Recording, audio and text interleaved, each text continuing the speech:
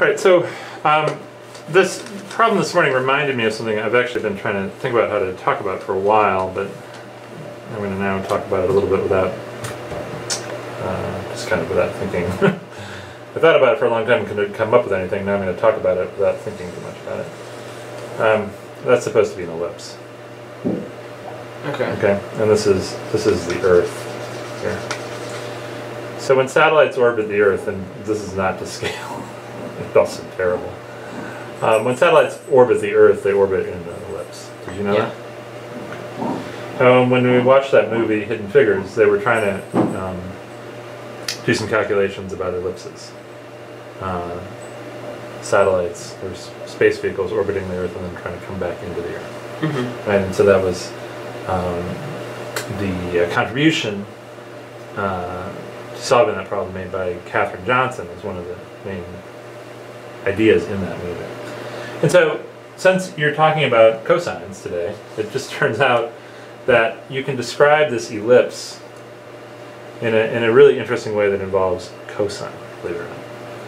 So if you call the distance from the center of the Earth to the satellite r, which is going to be a function of the angle here, at theta. So, you know, we're sort of looking at the plane that the, the satellite's rotating in. The equation for this ellipse, if this distance here, this perpendicular distance from the closest point perpendicular up to the orbit, is this, I forget what they call this in the paper, k, I think. It's either p or k. Call it p. Alright.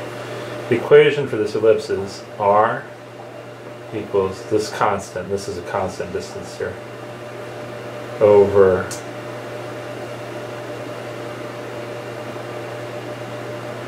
one plus epsilon cosine theta. And epsilon is a, is a, relates to the difference between this distance and this distance. Okay. Okay, so it doesn't matter what it is, it's just another constant.